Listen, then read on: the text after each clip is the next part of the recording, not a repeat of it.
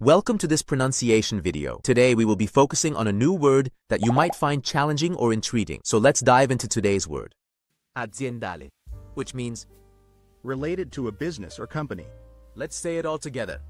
aziendale aziendale aziendale One more time.